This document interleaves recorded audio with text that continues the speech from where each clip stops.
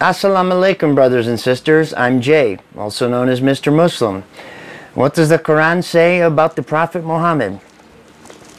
O you who believe, obey God and obey the messenger and those in authority among you.